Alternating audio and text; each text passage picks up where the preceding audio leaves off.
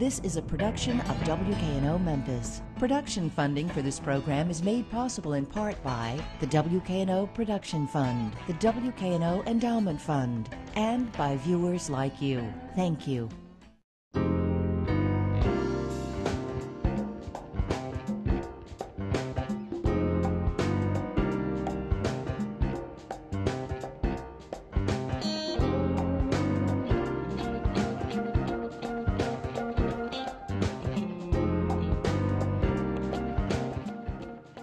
I'm Mamie Shannon. Welcome to Local Color. Chris, I want to thank you for sitting in for me last week while I was out doing manual labor. I missed you guys. Thank you so much. Sure, just don't do it again. I, you know, I was planning on a couple of weeks vacation. Are you up for it? yeah, I guess we do what we gotta. I just want you all to know this is my favorite time of year. I love the fall festivals. This is the reason why I got into producing special events. I love the dynamic of working with the community, and we have fall festivals out the ears. So, what we're going to do is we're going to kind of break them up. I'm going to talk about the festivals that are going on this week, and then next week we'll talk about more, more, more, more, more, all the way through Christmas. Um, this is the 24th annual Cooper Young Festival. And if you've never been, you need to go. It is absolutely a slice of Midtown. The Cooper Young Festival is Saturday the 17th. Uh, it is in Cooper Young.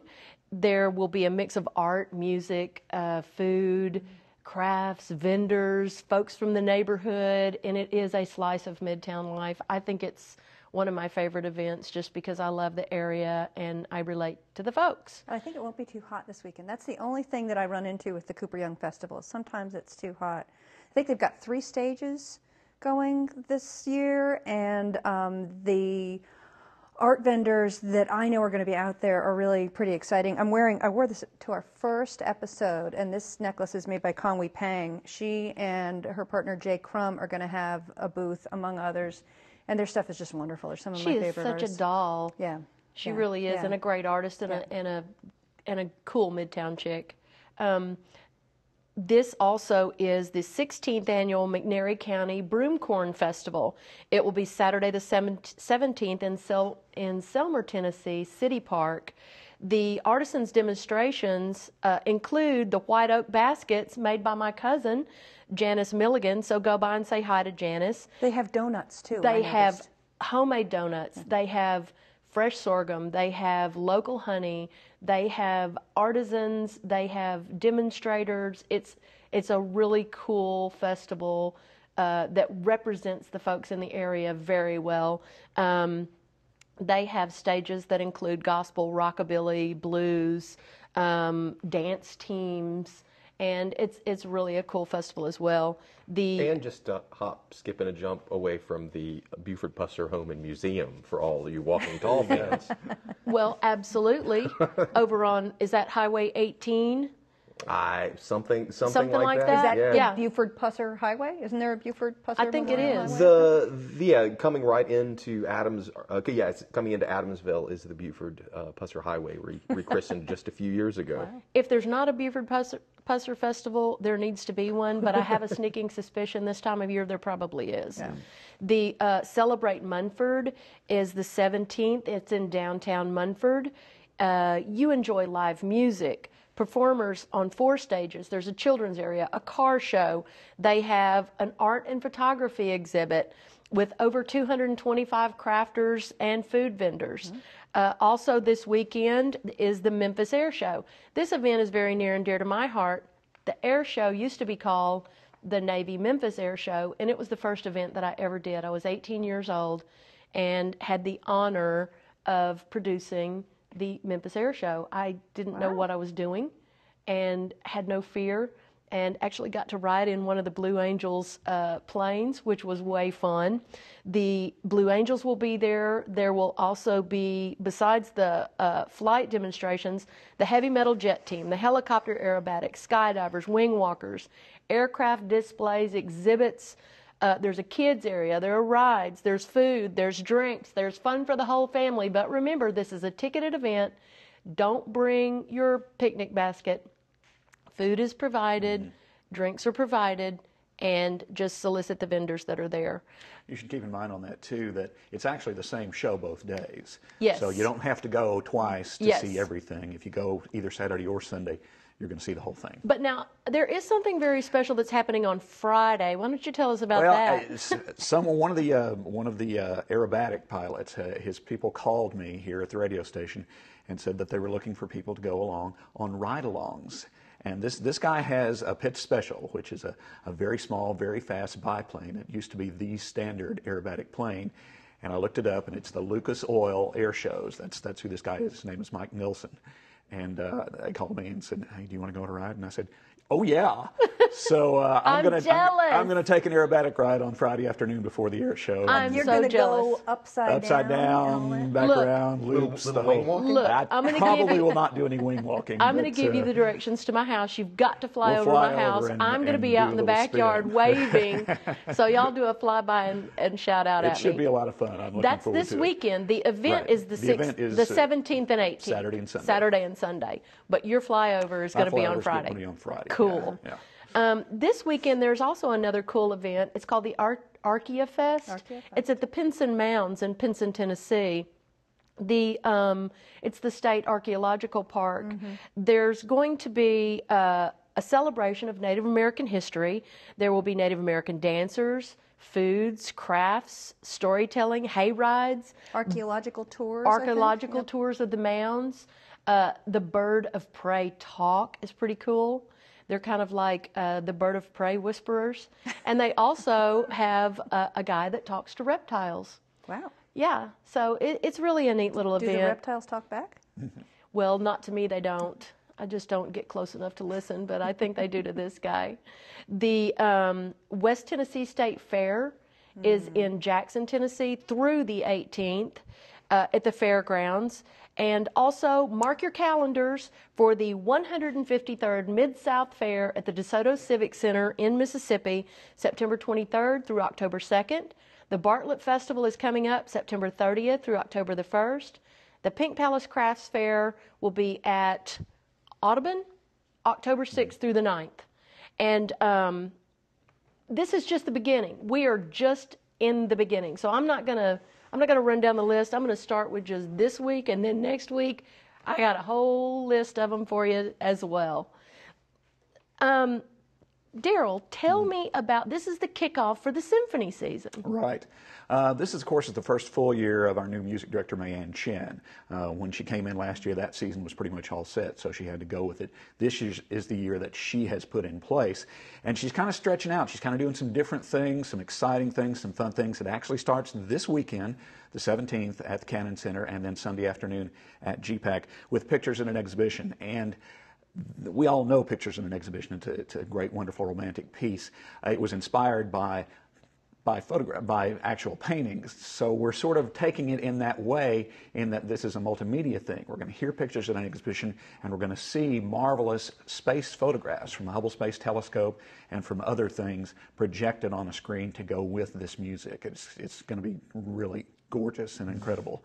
The original, uh, uh, it was it was inspired by a, a Russian artist named Victor Hartman. Victor Hartman, right. Who was an architect and an artist and a good friend of the the composer Mussorgsky, who died young. He had an aneurysm, and so this was an attempt to like pay some kind of homage to this to this good friend and someone who we thought was going to be a real compatriot. Mm-hmm. They were striving to find sort of a purely Russian. Um, art form Yeah. and and the photography is by Jose Francisco uh, um, Salgado, who um, he's an artist and uh, uh, astronomer at the Adler in Chicago. And what's what's really nice about this is that uh, he's also part of he's the executive director of a group called KV265, and the whole goal is to try and explain artistic or explain scientific princi- principles through art. Like so that's, I mean, when he talks about it being, you know, it, trying to find these new ways of being interactive, this is a chance to see this guy's work and a chance to sort of get get a little science lesson while you're getting your. Well, well you mentioned Cannon Center and GPAC. Is this another one of the collaborations? Uh, they do this every year, basically, uh, for the Masterworks series, the big series. They'll do a Saturday night show at uh, the Cannon Center and a Sunday afternoon show. So at Saturday night at eight, and then the Sunday, show at two at thirty, 2:30, yeah. and it's the same show. It's the same show. Okay. A couple of other great things in this particular performance. Uh, they're doing the Korngold Violin Concerto, and our own Susanna Perry Gilmore, our concertmaster for the Memphis Symphony, is the soloist, which is a little bittersweet because this is her last year with the symphony. She's taken a job with the Omaha Symphony, so she's been concertmaster here for more than 10 years, and it's it's going to be great to have her doing this wonderful, beautiful late romantic violin concerto. So that's fun. There's another piece. It's a brand new piece. It's called The Garden of Cosmic Speculation. It's by Michael Gandolfi, and uh, he's a modern composer. This is based on an actual garden in Scotland. It's like 30 acres. It was designed by the American architect Charles Jencks. And uh, when Mei-Ann Chen came in to do an interview last week, she brought a book, big color picture book about this garden. And it's just fabulous, just amazing fountains and, and structures and, and things. And so he has written movements to go with every segment of this garden. And the fun thing is that you can take any set of movements and make your own suite. Like she's taken four of the movements, and, and that's going to be what we're going to hear. Uh, she also conducts the Chicago Sinfonietta, and she's going to go up there later in the year and do four different movements from this from this piece. And it's it's amazing stuff. I encourage people to Google Garden of Cosmic Speculation and look at some pictures of this place because it's really just incredible. So that's the that's Well- the three Also pieces makes that are on complete this. sense on the bill with the pictures, pictures Exactly, of yeah. Well, and also, um, don't forget, you can go to wkno.org slash local color, and we will have a list of everything we're talking about there, so you can link and go and check it out as well. That's that's the big thing. That's that's this weekend. Uh, I'm going to run quickly down some of the other things that we'll hear through the year in the Masterworks series. Um, the next one is in uh, October, October 15th. It's Dvorak's New World Symphony, and this is fun because last year the symphony had an international conducting competition. They had entrants from all over the world. Well, the winners are going to be conducting in this concert. we talked about that. Yeah, we did Oh, the last time I oh, was here. how, how interesting. So that's going to be a lot of fun. They're also doing a Ravel piano concerto, uh, which is marvelous, and um, uh, Hindemith Symphonic Metamorphoses, which is a piece that I love and is never played live. So that's going to be fun. Uh, in November, November 19th and 20th, um, uh, two of our good local folks, Victor Asuncion and Adrian Park. Adrian Park is the pianist for the Memphis Symphony. Victor, of course, is a world known pianist who happens to teach at the University of Memphis. They are going to do the uh, concerto in D minor for two pianos and orchestra by Francis Poulenc. Again, a marvelous piece that nobody does. And then the Pines of Rome and the Moldau on that program. Uh, in January, the Russians rock to Tchaikovsky, and we say rock because they're doing the Rock 3, the Rachmaninoff Third Piano Concerto. That's what everybody calls it. Uh, Lil- Lilia Zilberstein is coming in on that. Also, a new piece um, called Global Warming by uh, George Abels and the Tchaikovsky Little Russian Symphony. That's where the, the Russian of the title comes in, uh, Symphony Number Two. Uh, in uh, February, very exciting, one of the major violinists working in the world today, Gil Shaham, is going to be here. And he's going to do a, a piece that's not very well known. It is called the Violin Lovers Concerto, or the Butterfly Lovers Violin Concerto, and it's, it's just a lovely, gorgeous piece. And then also on that program, Prokofiev, Romeo and Juliet. So uh, romantic for, uh, well, very, very close to Valentine's Day. Um, something that's exciting coming in March is uh, what's called Beyond the Score. And this is a production that the Chicago Symphony Orchestra put together a few years ago. And basically, they're taking a major work, in this case, The Rite of Spring by Stravinsky. And in the first half of the show, we're going to take you beyond the score. You're going to have a copy of the score. Everyone will get one uh, as they come in, and we'll have presentations saying, This is what's happening here. This is why Stravinsky did this here. This is what this piece is about. And then in the second half, we'll hear the whole piece played, and you'll know all about it. You'll you'll say, "Oh, okay, now I I, realize that. what's That's happening great. there." I like that. Yeah, it's a very exciting program. Uh, Chicago has done very well with it, and I think we may be the only other um, orchestra to do it, at least this year. Uh, in Saturday, Mahler Second, the Resurrection Symphony. Huge, massive piece. Uh, big chorus, huge orchestra, uh, soloists. It is actually the only one that they're not doing again on GPAC the following day. Simply because it is such a So massive big. piece. Again, it's so big that it's seldom performed. Although, interestingly enough, I think Nashville is also doing it this year. and then uh, they're going to wrap up the uh, Masterworks season with Carmina Burana, which you all know from the zillion car commercials. As soon as you hear the opening, you will know exactly what this piece is. But again, great big piece with chorus and orchestra. Well, tell me about Symphony in the Gardens. Symphony in the Gardens is uh, next Sunday, the 25th, and basically it's a pops concert at the Dixon Gallery and Gardens. And I, I always encourage people to go to this because it's so much fun. They set up on the big back lawn there at the Dixon. The music actually starts at five, but the doors are open at three, so you can come in, get your picnic set up, take your picnic basket, take your lawn chairs. Uh, they will also have some food available for from just for lunch, I believe, if you want to. Which buy is food there. amazing. If Yeah. you've never had her stuffed snow peas. But it's Oh. uh, uh, it's it's a it's a pops concert essentially, like classical music. Um, it, it will be conducted by Stilian Kirov, who is the uh, the symphony associate conductor, uh, who is a marvelous and, and talented and, and dynamic young man. He's he's a great to see just as a conductor.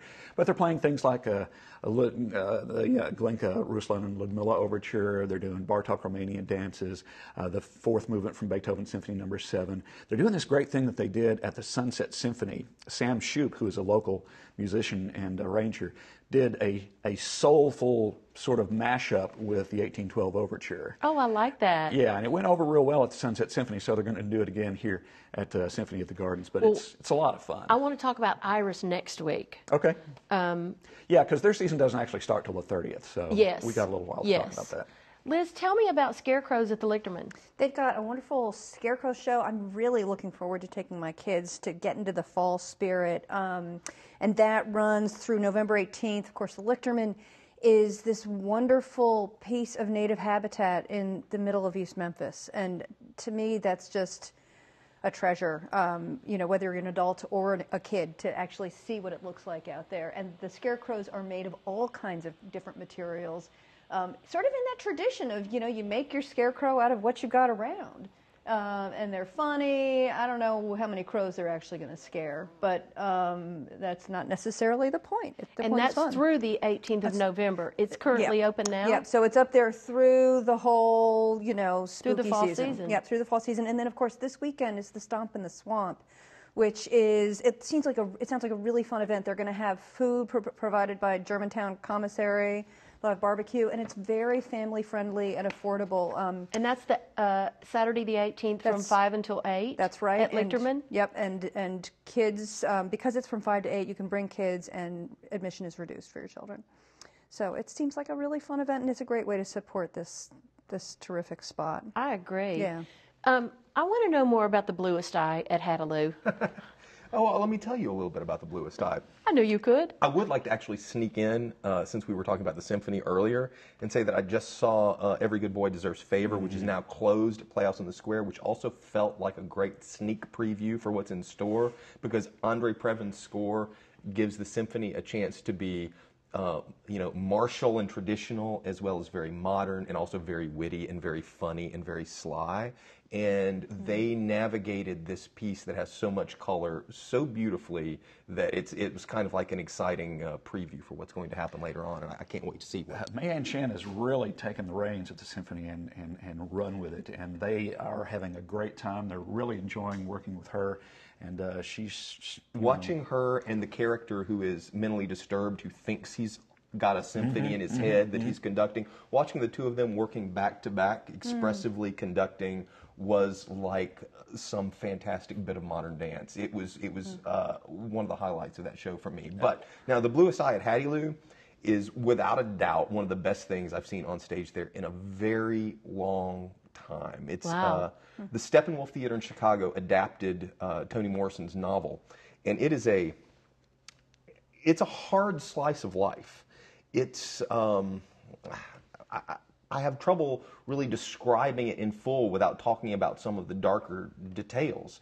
But it, is- it's set at the very end of uh, of the Depression in Ohio in an African American community, and it deals um, with well a lot of a lot of racism, but not necessarily white on black racism, but you don't want to be born too black. Mm. And Pecola, the main character, and her family, they all seem to be born with the curse, and the curse is that they believe that they are ugly. And but this belief is so strong, they somehow manage to make it so. And, and Pecola's one wish, the one thing that she wishes more than anything, is that she would have the bluest eyes in the world. That maybe if she had the bluest eyes, people would be able to see her. And the course of her, her family have had nothing but tragedy that have uh, befallen them, and they make it so that the path laid in front of her is also very difficult. And from one event to the other, it deals with, um, I'll just describe it as a path to madness. Um, Pecola, through either some cruel twist of fate or maybe some um, uh, so, some way the body deals with our torment, she gets her wish. Um, And that runs through when? it, you know, I'm not sure. You can check our website. I don't know closing dates. September 25th. But it will be online. Okay. And it's open now? It is open now. It opened this last weekend. I saw Ekundayo Bandele, who's the founding director there, and who also directed this production. And he saw me and he grabbed me. He was like, "I can't wait for you to see this. I think this is the best thing I've ever done as a director." Wow. Now, That's a lot of confidence. Yeah. I don't know that I agree with him that it's the best thing he's done, but I will say it's it's The very best thing in very a long it's very time. good. And these heavy heavy themes are managed with such a light touch, Hmm. almost childlike tone in the dialogue. You don't realize how hard the medicine is until after it's already down. now this weekend at Theater Memphis, Glengarry Glengarry Glen Glen Ross Ross. opens. Th- This is one of my very favorite plays of all times. Um, it is, uh, you know, it's a play about uh, real estate salesmen, and it's loosely based on some of Mamet's own experience working in a real estate office in the '60s, inspired very much by the the documentary Salesman about Bible salesmen. This is about real estate and selling real estate, and I'll say that this piece of theatrical real estate rests right at the corner of capitalism and the human condition. And you want to talk about dark? It is cruel. It is um, profane. It is often very, very funny. Um, and it's got. But is it it's spot on? Oh yeah. Well, you know, it's it's about these people who will lie, break the law, do anything they can to sell people who cannot afford real estate a piece of real estate they don't want, a piece of real estate that may be undesirable, but it's not the salesman goal to present the facts. It's to make these people believe that they want it, that they need it, to, to somehow believe that they will be better people if they buy. Gosh, that this sounds piece really of real familiar. Yeah, no, it was totally, totally prescient. You know. the, the piece was written in 1984. Yeah. If anything, right now, I think it will resonate with people more than ever before. Um, I, I'll say this: my wife and I, we were on uh, the film adaptation is very good. And when my wife and I were on our honeymoon, we were in Barcelona, and we were getting ready to go out. We were all dudded up, and we just happened to have the TV on, and Glengarry Glen Ross came on, dubbed in Spanish, and we wound up not going out until after it was over with because we were fascinated at what American profanity does not translate into Spanish. and can they say it as fast as they do in the movie? Oh, in it, it's, it's, it's beautiful. It would be like, you know, uno, el Cadillaco. Dos, cussing steak knives. Tres, you're cussing fired. I mean, it, it was, it was, we love it in English.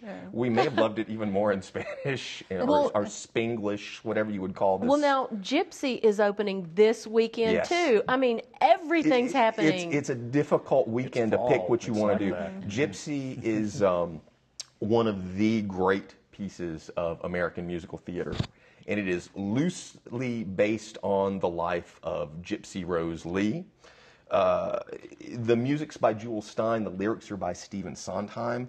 It is. Um, it's about the end of vaudeville and about how it was sort of consumed by burlesque and Mama Rose, who is the great stage mother, some would say stage monster, how he takes her, you know, her shy daughter who never quite fit into the Broadway show and winds up on the burlesque stage. The the songs that people remember from this are songs like Everything's Coming Up Roses, and of course my favorite is uh, uh, about how you need to have a gimmick, and all about how. Uh, you know, if, if Rose was going to make it as a, uh, or, or um, and now, what's going on at Theater Works that closes this weekend? Okay, David Sedaris fans and Amy Sedaris fans will want to know about this. It's called The Book of Liz, and the Emerald Theater Company has uh, has it on stage right now. It's uh, a collaboration between these two very talented satirical siblings.